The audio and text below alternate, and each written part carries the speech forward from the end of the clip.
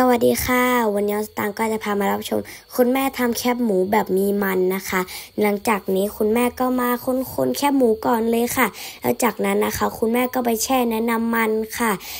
สำหรับใครไม่รีบนะคะ ก็แช่ไว้หนึ่งคืน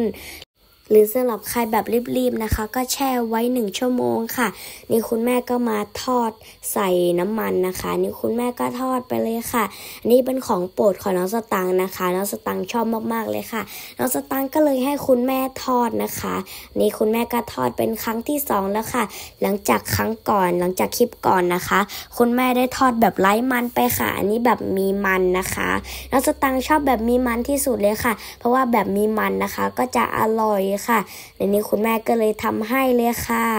นี่อันนี้คุณแม่หลังจากที่ทอดไปนะคะโหฟองบุนบุนเลยค่ะ ขึ้นมาเยอะมากๆเลยนะคะโหน้องสตังขนาดน้องสตังภาคนะคะ เนี่ยน้องสตังก็ยังหิวเลยค่ะ น้องสตังชอบกินแคบหมูที่สุดเลยนะคะ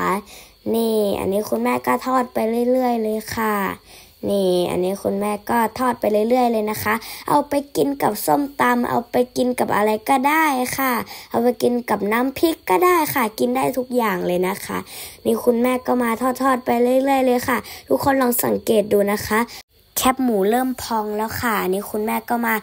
ทอดๆไปเลยนะคะ นี่อันนี้ก็เริ่มพองแล้วค่ะ อันนี้ยังพองไม่เต็มที่นะคะ หลังจากที่พองเสร็จแล้วนะคะ คุณแม่ก็มาเอากระชอนตักค่ะ นี่อันนี้ก็เป็นอันเสร็จสิ้นแล้วค่ะ หน้าตาน่ากินมากๆเลยนะคะสำหรับใครอยากจะไปทำตามนะคะ ก็ทำได้เลยค่ะสำหรับเคลิปนี้นะสตังก็ต้องขอตัวลาไปก่อนนะคะ ก็อย่าลืมกดไลค์กดแชร์กด subscribe แล้วก็กดติดตามให้น้องสตังด้วยนะคะ เดี๋ยวเราไปกินกันกันค่ะ บ๊ายบาย